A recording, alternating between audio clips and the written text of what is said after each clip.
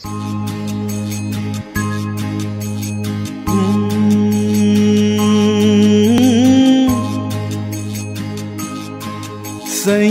के पथ पर चलने का अधिकार मैंने पाया है। संयम के पथ पर चलने का अधिकार मैंने पाया है। आज्ञा पाई परिवार से, गुरुदेव से मुहूर्त पाया है। संयम के पथ पर चलने का अधिकार मैंने पाया है।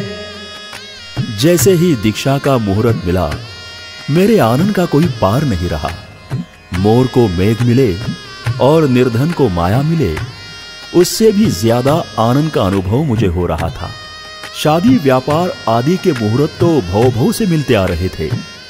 मगर शायद पहली बार इस युगों से भ्रमित आत्मा को कर्मों से विजय प्राप्त करने का मुहूर्त मिला था। प्राचीन काल में राजा जब युद्ध भूमि पर जाते थे, तब राजा की माता या धर्म पत्नी विजयी भव का आशीर्वाद देते हुए ललाट पर विजय तिलक करती थी।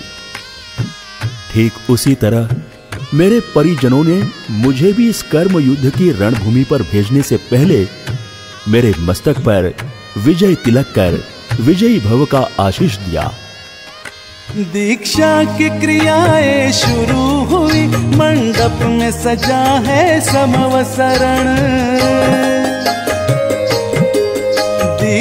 की क्रियाएँ शुरू हुई। मंडप में सजा है समवसरण चौमुखी प्रभु प्रतिमा शोभे। हुआ विजय तिलक देव बंदन भैया बच में समकित धारी। देवों को भी बुलवाया है। संयम के पथ पर चलने का अधिकार मैंने पाया है। दीक्षा का मंगल स्नान और वेश परिवर्तन करके जब मैंने मंडप में पुनः प्रवेश किया तो दीक्षार्थी अमर रहो। दीक्षार्थी की जय जयकार के गगन भेदी नारे गूंजने लगे।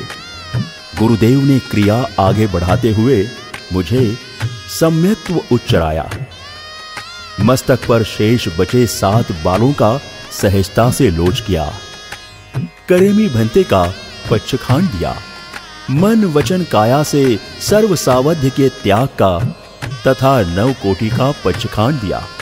मेरा नामकरण किया। इनका नाम रहेगा सुशांत मुनि जी महाराज गुरुदेव ने लोच किया मेरा मुझे करे मिभंते उचराया।